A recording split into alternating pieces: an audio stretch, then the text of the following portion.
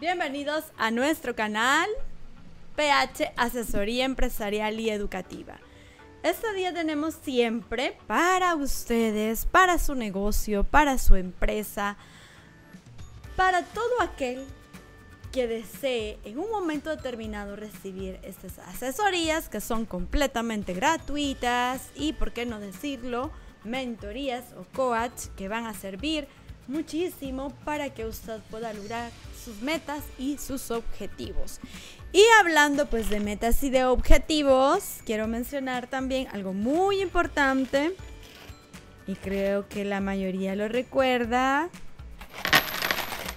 Nada más y nada menos que de manera simbólica, usted sabrá de qué forma establece el hábito llamémoslo así, del ahorro que lleve posteriormente a la inversión.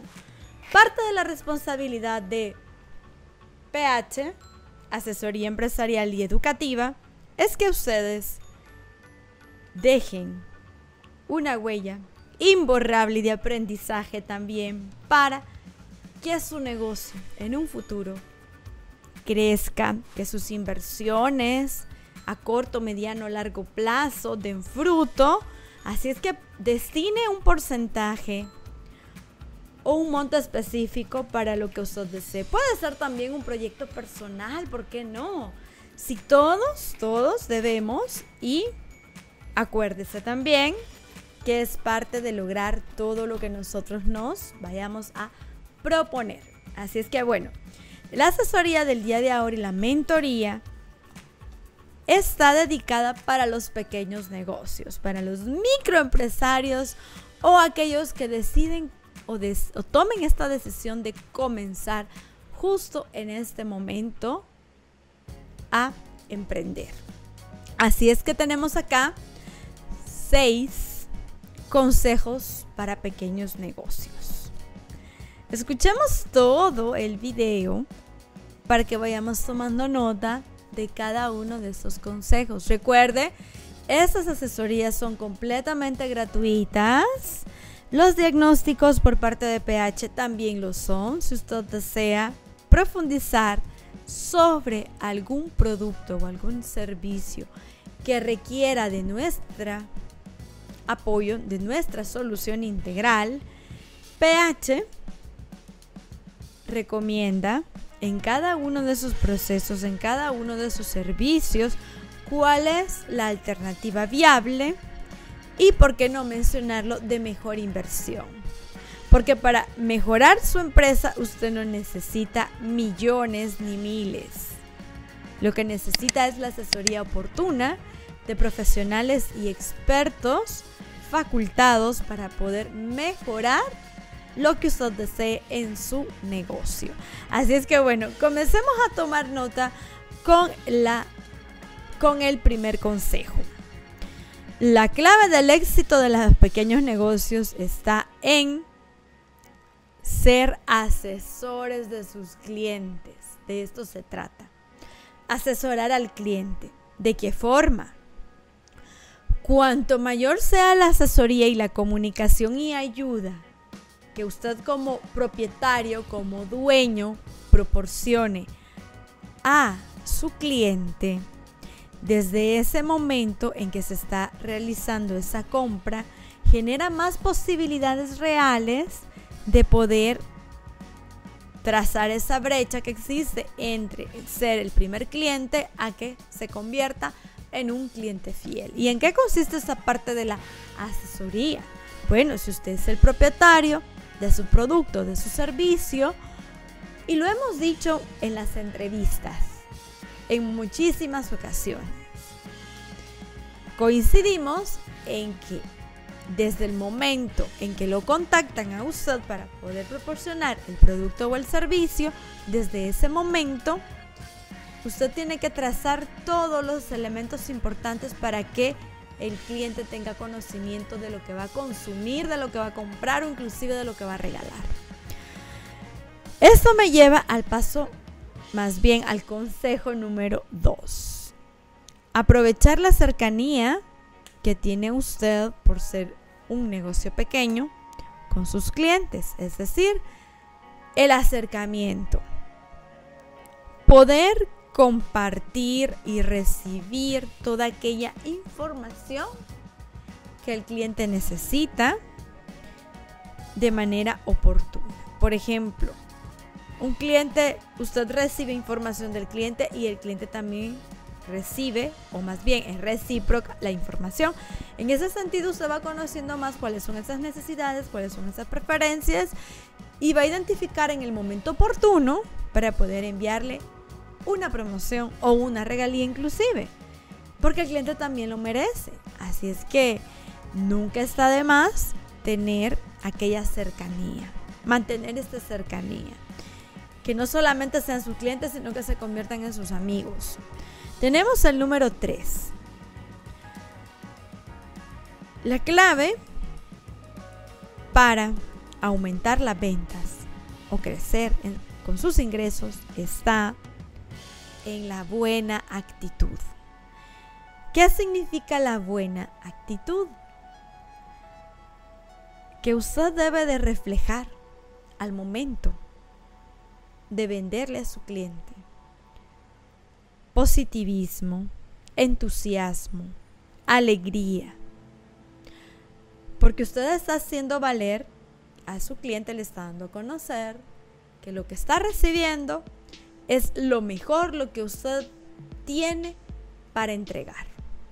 Usted va a entregar todo de sí para que su cliente se vaya completamente satisfecho. Entonces también acá usted debe de generar un ambiente agradable, sano, oportuno y saludable.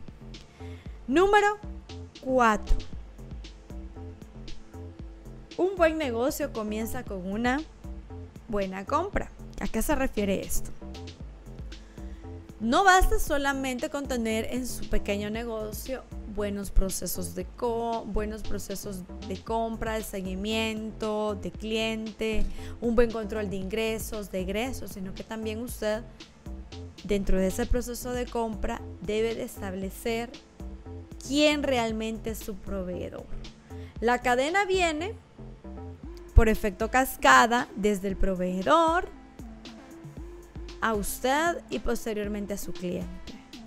De esta manera se define específicamente planes de pago, coberturas de domicilio, cargos extras, formas de financiamiento, condiciones, devoluciones, una serie de situaciones que usted debe de contemplar, inclusive porque sea un pequeño negocio no significa de que usted no va a establecer formas de pago o establecer contratos, porque es más justo y porque también es necesario en el comercio real, en el libre mercado. Es parte también de lo que usted debe de considerar. Número 5. Manejo de inventarios. Y aquí viene un sano consejo. Un buen manejo de inventarios evitará costos ocultos, porque la mercadería que no se vende es dinero que no se ve. Y por lo tanto los productos que no se venden ocupan espacio y ese espacio representa un costo elevado.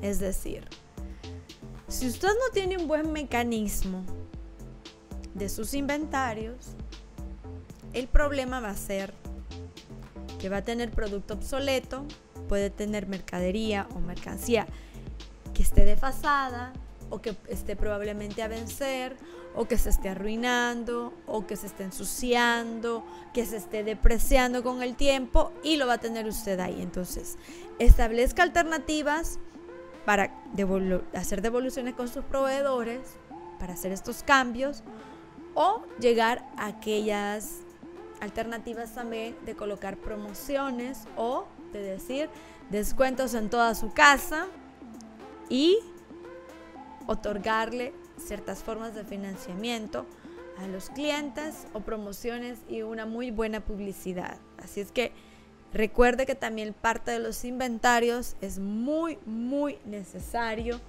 de llevar este tipo de control. Bueno, PH está acá para poder asesorar si usted desea conocer un poco más sobre el tipo de inventarios. Eh, nunca está de más. En la parte pues de alimentación, en la parte pues bueno, de todo tipo de servicio y producto es necesario llevar un buen control de inventarios. Y el número 6,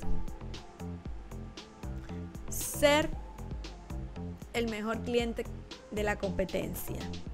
Es decir, que no necesariamente usted tiene que igualarse la competencia, pero sí puede mejorar. En este sentido, usted debe de averiguar qué le ofrece la competencia, cómo se siente el cliente con la competencia, cuáles son aquellas estrategias que está utilizando la competencia, cuáles son aquellas cuestiones novedosas o innovadoras que está implementando la competencia hágale entrevistas ocultas a los clientes que también van a la competencia. De esta manera usted se informa como pequeño negocio y luego eso se va a traducir en crecimiento de sus ingresos, sus ventas y todo viene como por efecto cascada para que usted aumente todas las posibilidades y así pueda pasar de un pequeño negocio o micro o macro negocio. Es por eso que PH siempre en sus asesorías, sus mentorías recomienda, y en este caso este video, los consejos para los pequeños negocios y así puedan ustedes tomar recomendaciones para que puedan aumentar, recuérdenlo, crecer y establecer cuáles son aquellos objetivos para pasar de micro, macros, negocios, empresarios, microempresarios y trascender de emprender a empresa. Así es que no olviden, por favor, suscribirse. Si todavía no lo ha hecho, por favor, apoyémonos, suscríbanse, activen la campana para las notificaciones para que le lleguen estos videos de manera inmediata. Y comente cuál puede ser aquel tema que usted desea que nosotros en estas mentorías podamos explicar desde luego su like y compártalos para que más emprendedores, microempresarios, pequeños negocios o proyectos personales conozcan cuáles pueden ser aquellas mentorías que faciliten también su aprendizaje y lo apliquen a su negocio. Así es que nos vemos en la próxima transmisión. Saludos y por favor no olviden verificar el canal de PH con los segmentos que tiene también en la parte de educación, en la parte también de las entrevistas. Si desea una entrevista, por favor, comuníquenos. Y también en la parte de Vagando con PH en los segmentos. Y recuerda también nuestro canal alternativo de la magia de la mecánica cuántica con el experto Rubén Portillo. Así es que nos vemos en la próxima mentoría. Saludos.